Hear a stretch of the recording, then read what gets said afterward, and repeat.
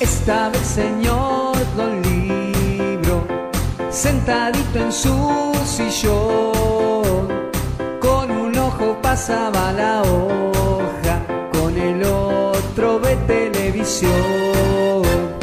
Estaba el señor Don Libro aburrido en su sillón, esperando a que viniera algún